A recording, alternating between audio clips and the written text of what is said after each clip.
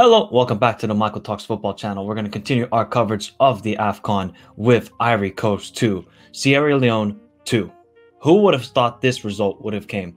First off, big up Sierra Leone. What a performance once again. 2-2 the final score. Uh, this is the game of the tournament so far. This was absolute scenes from minute 1 to minute 95 or whatever. I think it was minute 100 that this game finished on. Just talking points on Tom on top of talking points, end to end action. And you just got to give credit to Sierra Leone. They just did not give up in this game. They could have easily folded after the penalty miss that Ivory Coast had. They could have folded after the first goal from Haller. They could have folded after the 2 1. But they just kept coming and coming. And a great performance, an absolutely fantastic performance. But let's talk about the game because this game had everything. First off, Kessie, penalty miss. I think Zaha was pulled down. I cannot remember which Sierra Leone pay- player brought him down, but Zaha was brought down. Franck Kessie stepped up, and this guy again. Mohamed Kamara is turning out to be the best goalkeeper so far in this tournament. Mohamed Kamara, who plays, I think, his club football in Sierra Leone, came up big once again. Uh, th- this guy is an incredible story, an absolutely incredible story. Obviously, got the man of the match in the last game. 1 0, then Sebastian Haller, then tucks it in. Then maybe Mohamed Kamara did read this situation a little bit wrong. He was, you know, he was guessing on which side he would go to. He went to his right side, and Haller put it in the bottom left corner. 1 0 to Ivory Coast. Then the second half begins. I mean, to be honest, Ivory Coast were pretty dominant in the first half. They had a lot of chances. I think it was like the first 15 minutes at least before even the goal even happened. Ivory Coast just created chances and chances. Sierra Leone were giving up the ball very, very easily, but they didn't deter from it. Second half comes, and then Kamara Musa with a fan. It was a fantastic team goal. A fantastic team goal from Sierra Leone's part. Ball played into the middle. Kamara Musa takes one beautiful touch and then just bang past the goalie into the net. 1 1 is the scoreline then. Nicolas Pepe makes 2 1. Good play from Sangare.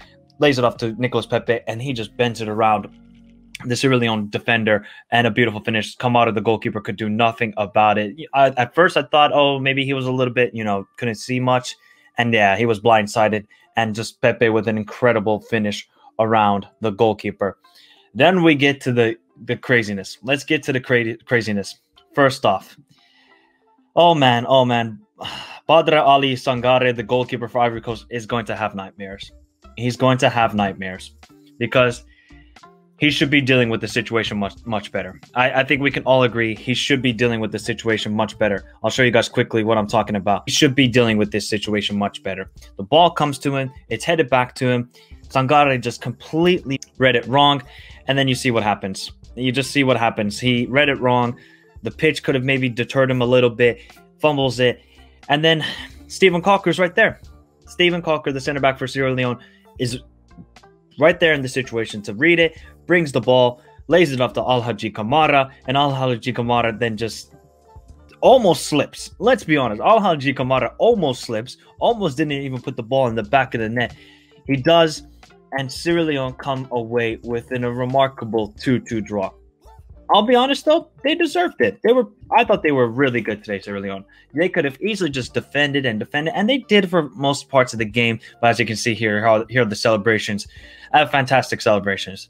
Alhaji Kamara, look at the Ivory Coast players. They don't even know what hit them. Look at them. They're like, what? What just happened? What just happened here? Oh, sorry guys, it just went a little bit weird. They're just like, what happened here? I don't know what happened. and then Alhaji Kamara takes off his t-shirt, and then just the crazy celebrations, kind of like Bafétimbi Gomis back in the day. If you guys remember the I think it was Swansea City uh, striker. Yeah, Swansea City striker who now plays his club football for Al Hilal in Saudi Arabia. He had the same sort of celebration where he's going like this. Oh my God, it was awesome to see. It was awesome to see. And look at the look at the whole celebration from the Sierra Leone camp. awesome sight. Awesome sight. But Ivory Coast, uh, you just can't trust this side. You just can't. With all this talent that they had, and they just cannot beat Sierra Leone. You just you can't. You bottled it. 2-1 lead, 95th minute. All you have to do, secure the win, you're good.